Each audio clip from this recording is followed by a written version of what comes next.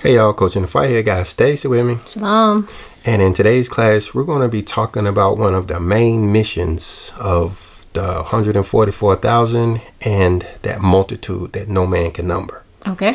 You know, we've done a few classes lately for those guys or on those guys or to those guys because it seems like there's a shift in the spirit going on these days. Mm-hmm. And those guys are kind of gearing themselves up for the work that they have to do. Yeah, it seems as if you're hearing more from people who suspect that they might be 144,000. Well, on that, you know, there's really no way to tell who is 144,000 who is not. That's why you see a lot of times in the videos, I'll speak about the 144K and the mass multitude as if they are the same. Mm-hmm. It's because we can't tell them apart. Mm-hmm. You know, they have similar missions. They will be standing together when the war is over, when all said and done, they will be all mingled in together. You won't be able to tell who was who. The only difference is that the 144,000 are the forerunners. They kind of learn everything first before they teach the rest of us. Right. But in the end, they all look the same. They all sound the same. They all are on the same mission. So basically, they are the same. So, with that being said, I guess one of the questions that I have is I know the Third Testament tells us that um, these people don't necessarily know who they are, um, and that we or whoever they are shouldn't necessarily call themselves 144. Um, and why is that? Well, they don't know who they are because they're being led by the Spirit. First of all, and second of all, there's not been a lot of information until the Third Testament to explain who they are. Mm-hmm. And then they're told not to identify themselves because they bring pain. They bring on themselves. They bring persecutions and make things hard on themselves by identifying themselves. That reminds me of a dream I had not too long ago.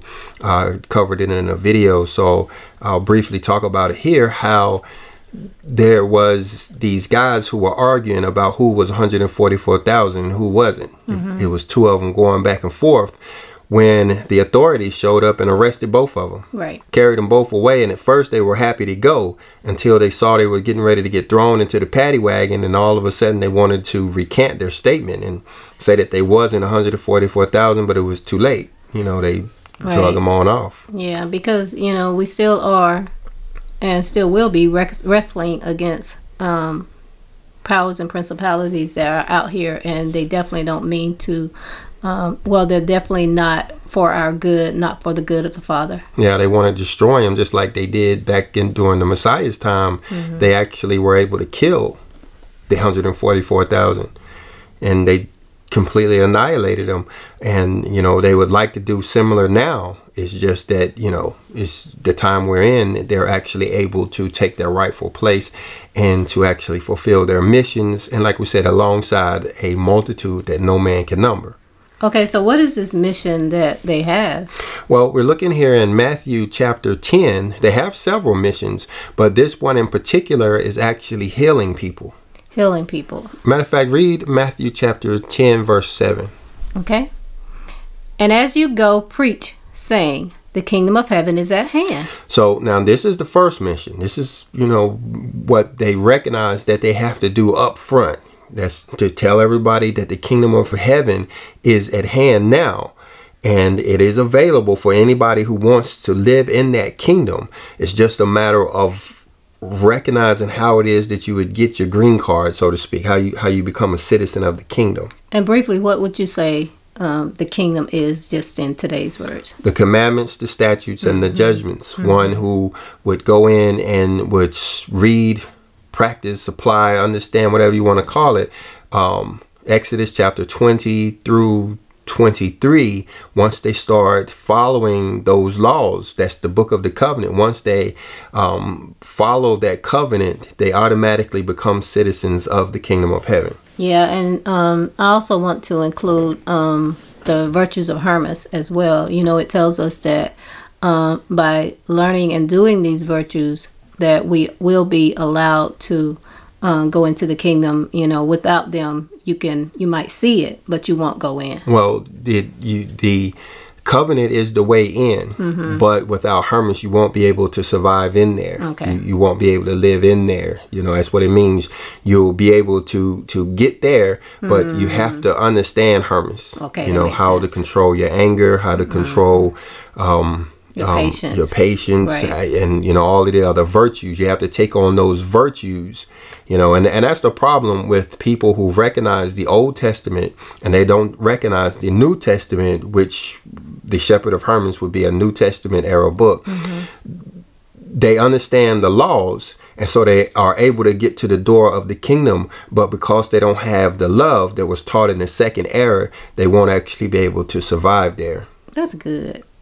That Praise- makes sense. Yeah. Praise Abba. Mm-hmm. Well, all right, so let's go on to verse 8. Okay, verse 8 says, Heal the sick, cleanse the lepers, raise the dead, cast out devils.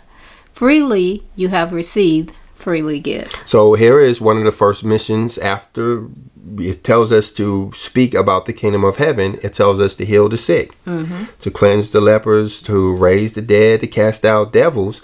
Um, this is part of what their mission is, what they are supposed to be doing. And I say we because I include myself in this multitude that no man can number. Right. You know, one striving to be part of that number. Um, so this is what we are supposed to be doing here. Now let's jump over to Mark chapter 16, verse 17. Okay? And these signs shall follow them that believe in my name, shall they cast out devils. They shall speak with new tongues. Yeah, so this right here is along the same lines, telling them, except now it's saying anybody who believes, this is one of the signs, mm-hmm. is that they will be able to cast out devils and speak in, in tongues. Right. Now go to the next verse. They shall take up serpents, and if they drink any deadly thing, it shall not hurt them. They shall lay hands on the sick, and they shall recover. So that's the part that I wanted to bring out here is how it's talking about how they'll be able to lay hands on the sick mm-hmm. and heal the sick. Mm-hmm. We've learned in the last part back there in chapter 10, which chapter 10 is all, it, the whole chapter is about these guys. We did a cold class on it way back long time 2019 on Matthew chapter 10 mm-hmm. because the whole chapter is it's like it's geared toward the 144,000 and Okay. that and that multitude. So it gives a lot of instruction in there. But Mark and 16 is kind of talking to all believers and it's saying one of their things to do is to lay hands on the sick. Right. I just wanted to bring that point out that we all have this power.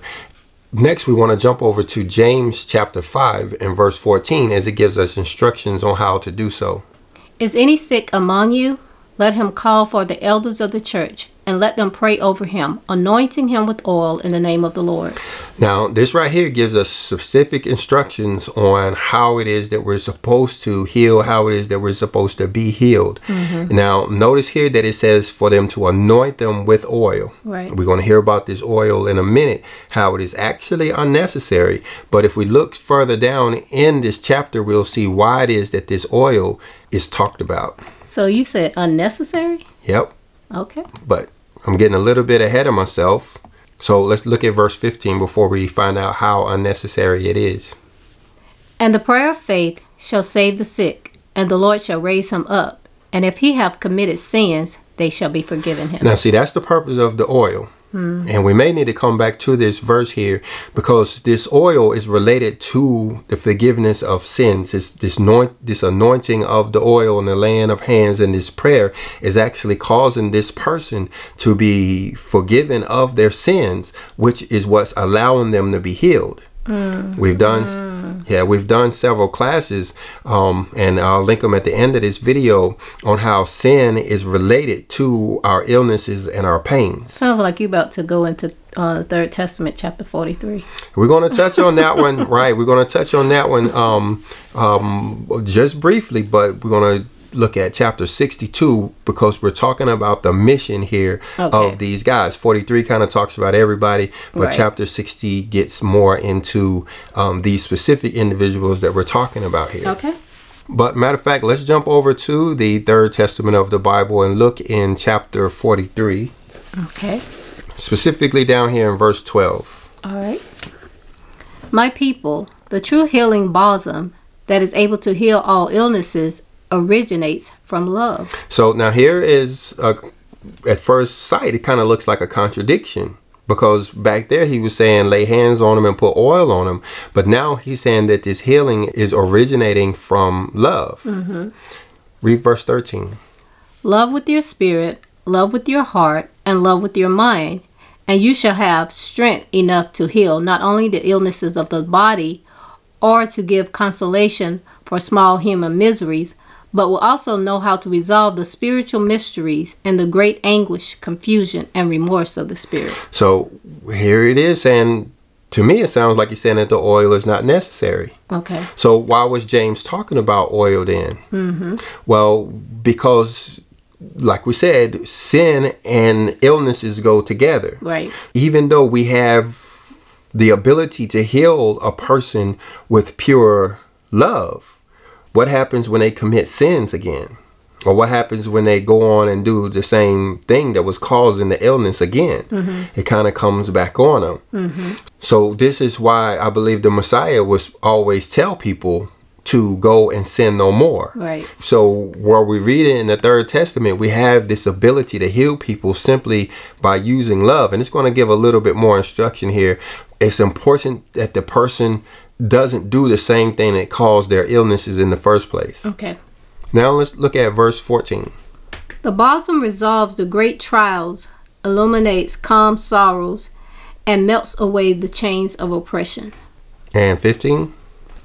Men who have been brought to despair by science shall return to health and life with the touch of that balsam. The spirit that has parted shall return to the word of love of the brother who calls. So we have this balsam here. And remember up there in verse 12, it says that this balsam originates from love. Right. So I guess while some would call them faith healers, you could actually call them love healers mm-hmm. because that's where the power is coming from. Mm-hmm. So what you're saying is it's not necessarily the oil that heals it's the faith and the love. Faith and the love that is not necessarily laying on of hands either. We're mm-hmm. going to find out here. Mm-hmm. Now we're going to jump down to chapter 48 and we're going to look at verse 22. Okay.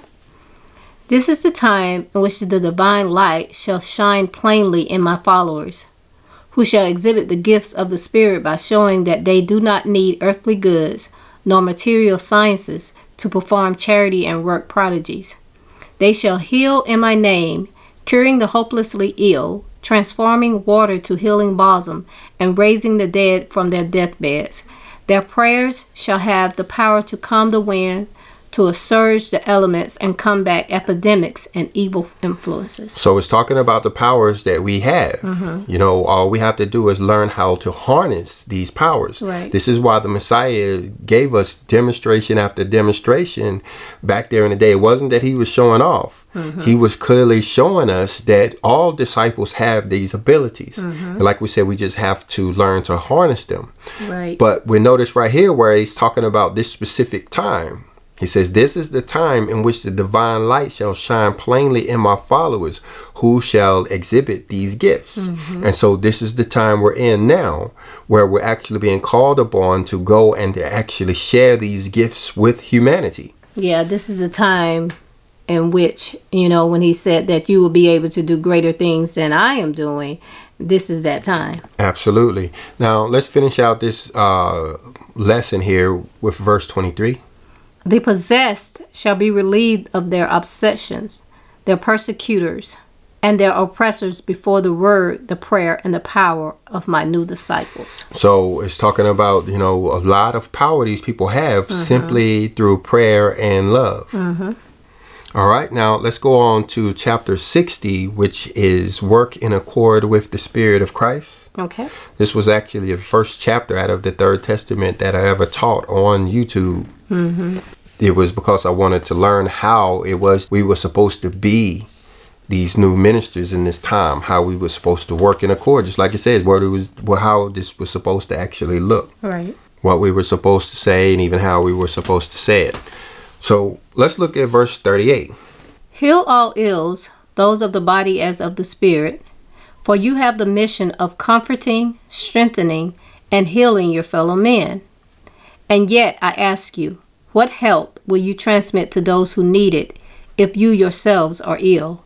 What peace can emanate from your spirit if it is stirred by worry, suffering, remorse, and low passions? So here it is talking about this mission and how these guys have this mission. Mm-hmm. You know, it's part of what their jobs are. You know, mm-hmm. it ain't about getting people to be convinced that you are 144,000 or, or that you are part of that number. Mm-hmm. It's not about vanity. It's actually a work that these people have to do. And we found out in the previous section that, you know, we're in that time where we're called to actually do this work. And we're going to see that uh, said again here in this chapter. But this one here is talking about how we actually have to heal ourselves as well. Yeah, I think that's where a lot of the virtues come in. You know, so many times when we think about healing, we all, always tend to think about our physical bodies, neglecting that a lot of us need healing from different things, like you know, as we were talking about anger, patience, yeah. uh, self control, uh, things like that. So, I think it's saying that you can't expect to heal someone else when you haven't taken care of these things yourself. Yeah, so that brings us to, like you said, the shepherd of Hermas. It's important to understand those. And I'll give a link to a playlist we did on that one. Um, that's a very important class. That's why you guys hear me call this channel Hermas Academy. Um, it was founded on the principles of the Shepherd of Hermas. So y'all be sure to stick around and check out that playlist at the end of the video. But let's look at verse 39 right quick. You can only offer to your brothers that which you have stored up in your own heart. So we have to, like you said, we have to separate ourselves from these things that are causing us these illnesses. Mm-hmm. And then we are able to go on and heal others. But, you know, in the meantime, I would I would advise people to practice healing 1st mm-hmm. because part of my own testimony, it was a long time before I was able to embrace all of the virtues of the shepherd of Hermas, and I'm still working on that every day. But while I was in that learning process, I was practicing healing people, mm-hmm. even before they knew it. You know, I wouldn't say anything to them, sometimes I would ask them, could I pray for them? And sometimes I wouldn't. I would just go ahead and do so, praying for their illnesses. And before long, they started gaining confidence, and I started gaining confidence in the ability to heal small illnesses, toothaches and belly aches and that kind of thing. And then it went on to bigger things, like it says, the um, people who are suffering from mental illnesses and even, you know, bigger illnesses like even cancer and stuff like that. Right. Mm-hmm. So we have a, my point is is that even though we have a lot to learn, you know, there's nothing that should be holding us back from actually, you know, trying to carry out this mission here. Mm-hmm. We we do have some time to learn, but you know, there's coming a time when we're really going to have to um, do this work. Like we'll see down here in verse 95 of this same chapter. Okay. I have given great gifts to my chosen ones one of these is the power of healing, the balsam, so that with that gift you may fulfill a mission that is one of the most beautiful missions among humanity, since your planet is a vale of tears where there is always pain to be found. So this, like we said, this is one of the missions, one of the main missions mm-hmm. that these guys have.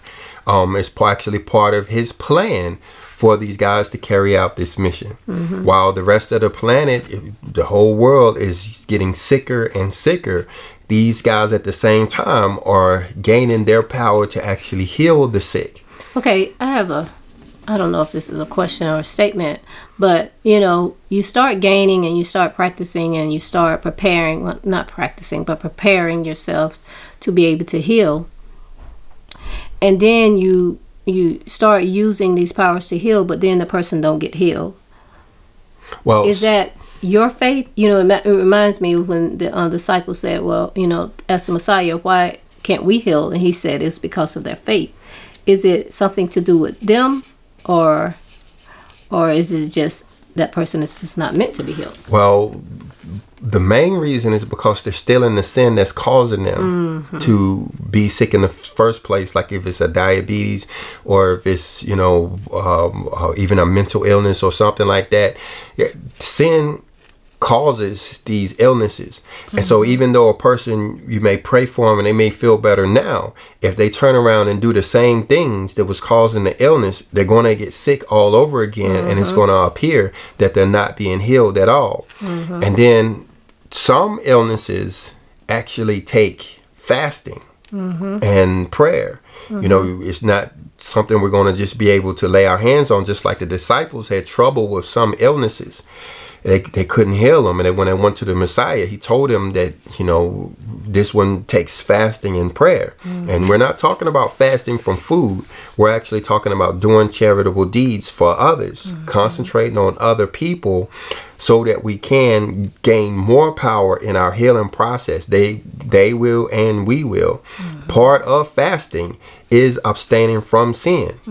So if the person, you know, seems to be not able to be healed or their healing process is going slow, if they were to actually fast, they would abstain from the sin that's actually causing them to be sick in the first place. You know, when we first started this here, I would uh, question the father and say, "Well, how is it?" You know, a lot of people ask this question. Well, how is it that a newborn baby, you know, get sick and and all that stuff? But you know, time and time and over again, the father always seemed to bring it up to me that this person had a past life. Yeah, they, And so when you do have those questions about people saying, "Well, how can how can you say that it's sin that's causing the illness, and this baby was just brought into the world and he has sickle cell anemia, or he has well, this child had a, you know, this child's a spirit, and that spirit had a past life. Yeah, and children, we read in the Third Testament that some of these children are experiencing pains even in the womb. Mm-hmm. So they are gaining these marriage. We gain marriage through these pains,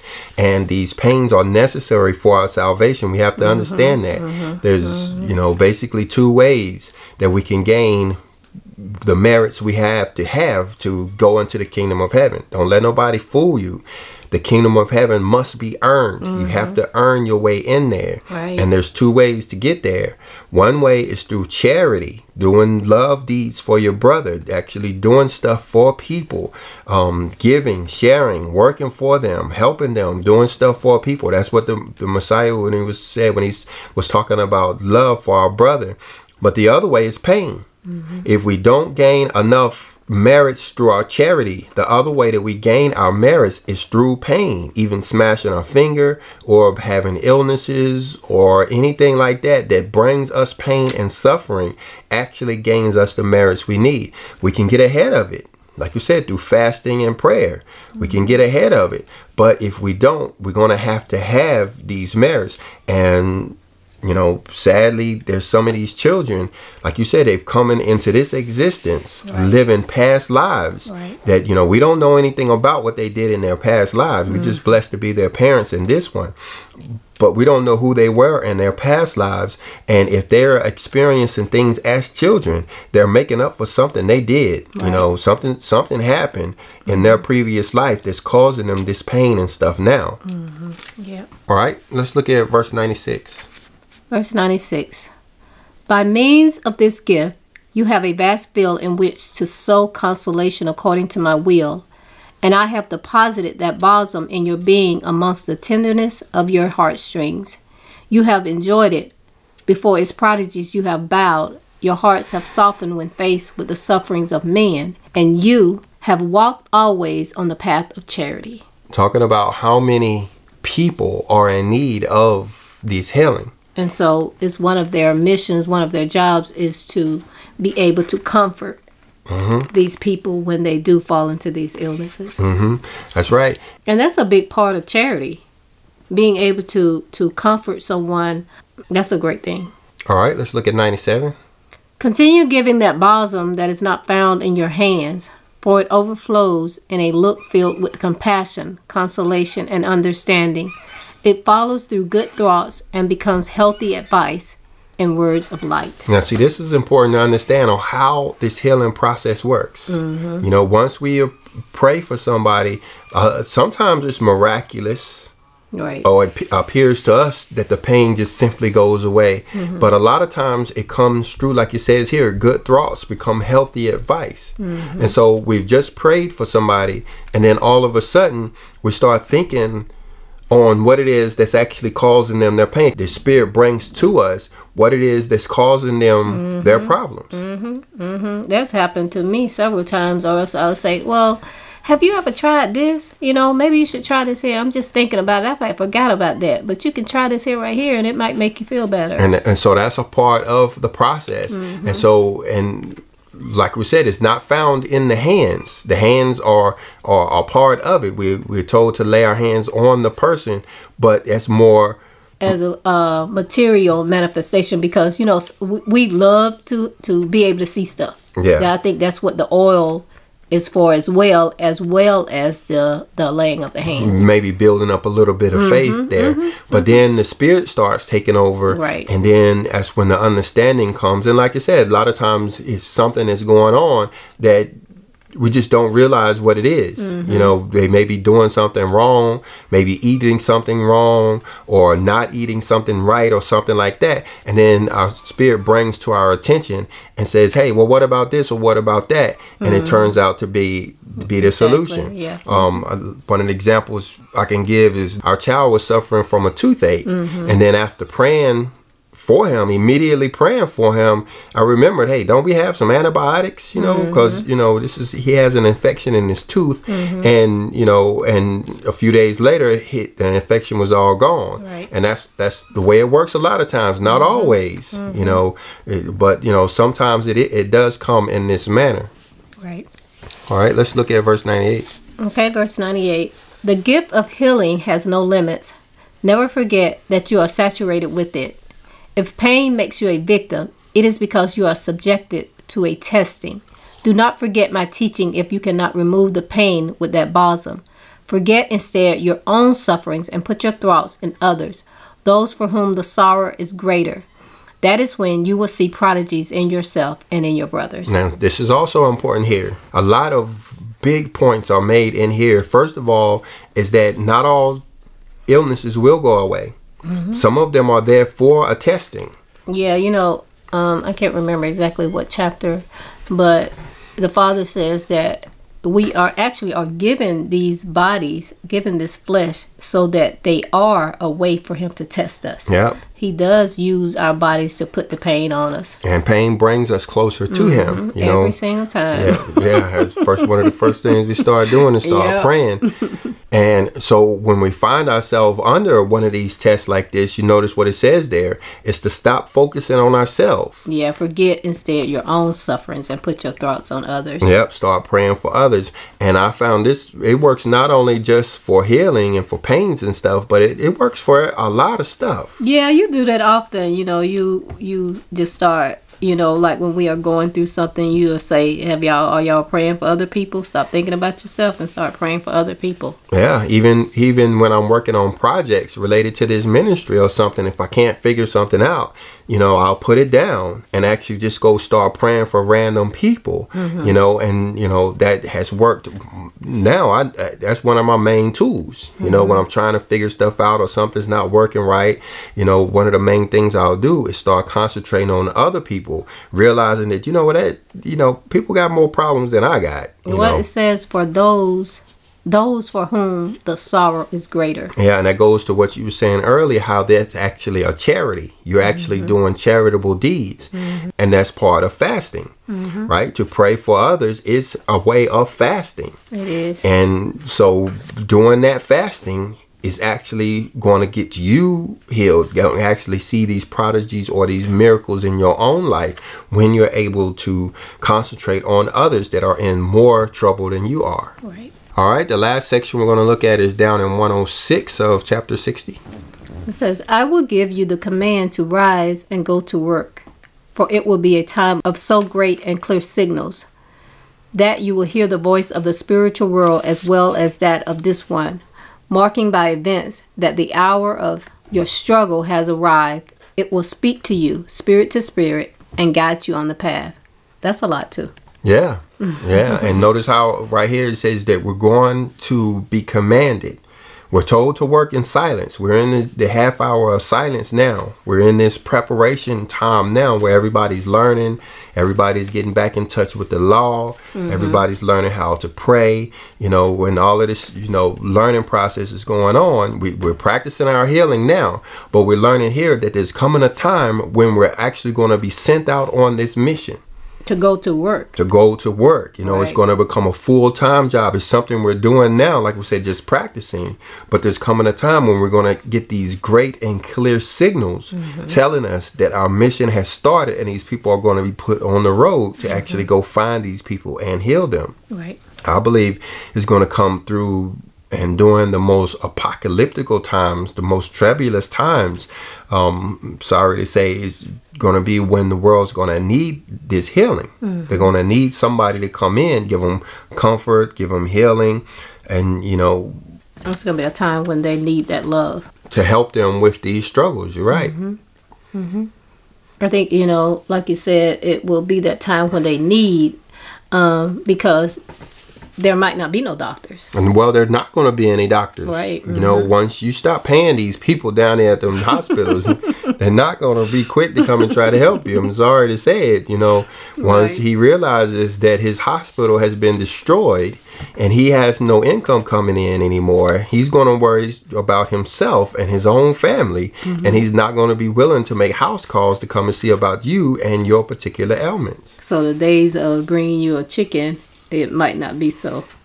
Well, for a little while until he gets hungry enough, and then yeah, yeah, you, you had, might those days of bringing him the chicken might be coming back when he that'd be the only thing he have to eat, you know. Right.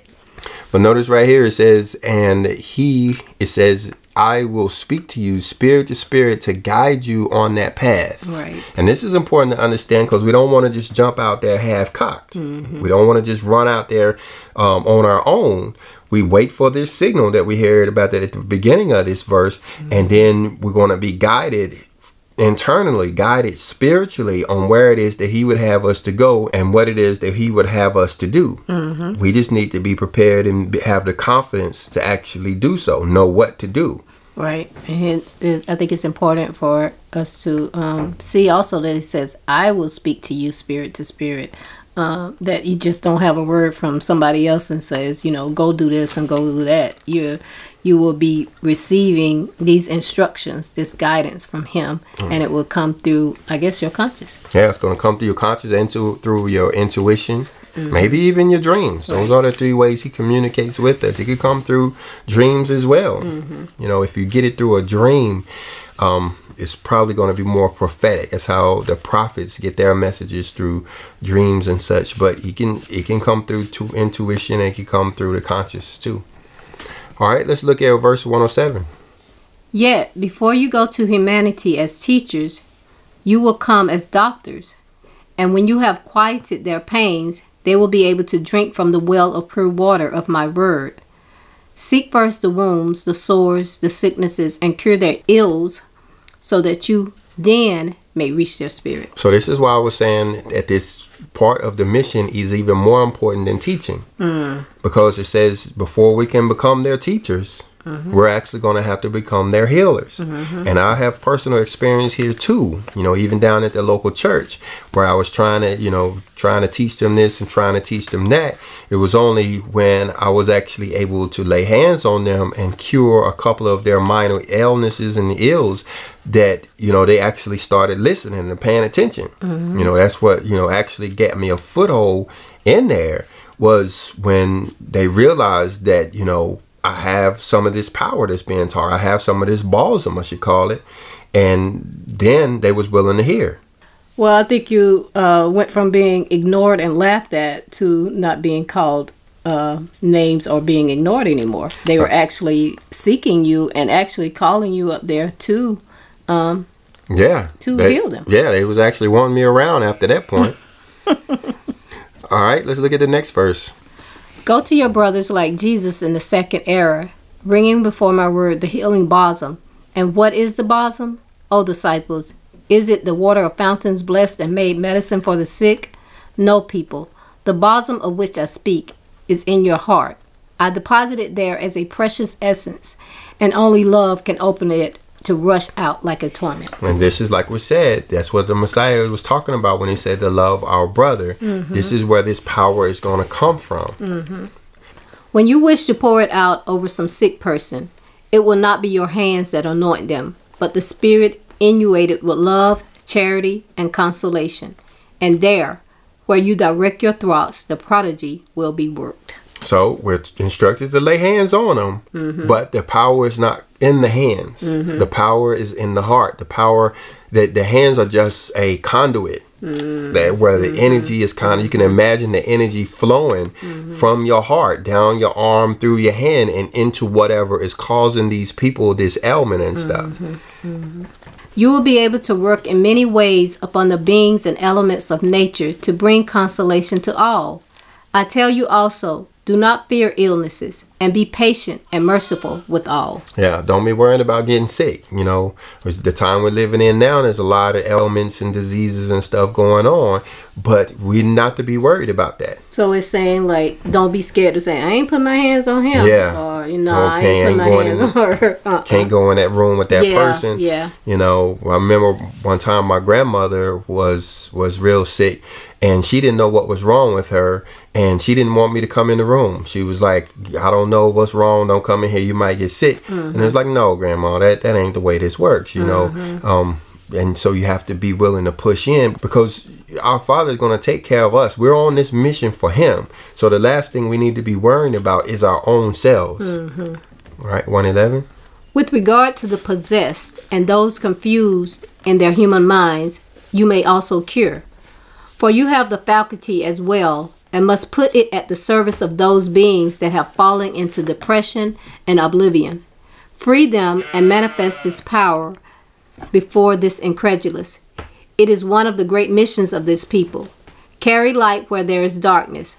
Break the chains of slavery and injustice and prepare this world to behold the Lord and see themselves, their inner selves, with full knowledge of the truth. So we're talking about the demon possessed and those with mental illnesses here. Mm-hmm. But notice how it says to demonstrate this power before the incredulous. What does that mean? The people that don't believe, the hmm. people that have a hard time believing, mm-hmm. even those down at the church who don't necessarily believe that, you know, we can heal people, this will have the most or the biggest effect. Mm-hmm. You know, especially like here in our local community, you know, where everybody knows one another, everybody's, you know, related to one another one way or another. You you know about the person up the street that has been suffering from mental illnesses for a long time. Well, all of a sudden you come in contact with this individual that has this love and this balsam and is able to heal them. Mm-hmm. And then they see it as a clear demonstration of this power that the Messiah, that our Father is giving to his people. Mm-hmm. And it goes a long way. Like I said, it breaks down those barriers to mm-hmm. where they're ignoring you at first because you're talking about feast days and Sabbath days and keeping the law and it don't, don't nothing make sense. Well, when you actually heal this person of this mental illness right before their eyes, now all of a sudden it does make sense and they can't deny it at all. And this even goes back to what the Messiah told us. It, you can see back there in Matthew chapter 10, verse 7 and 8, how everything he said has been covered in the Third Testament, kind of expounded on it. And we only touched a few verses. Mm-hmm. There's whole chapters on illnesses and sicknesses. Matter of fact, we've covered a lot of those in these other videos that are popping up on the screen now. You guys can go check those out Yeah. Mm-hmm. get more detail on this. And in the meantime, let us know your experiences in the comment section. Yeah, we would love to hear about, you know, if you guys have had any experiences with um, healing, comforting, and um, how these things have worked for you. Yep. And we'll see you down there. All right. Shalom, shalom.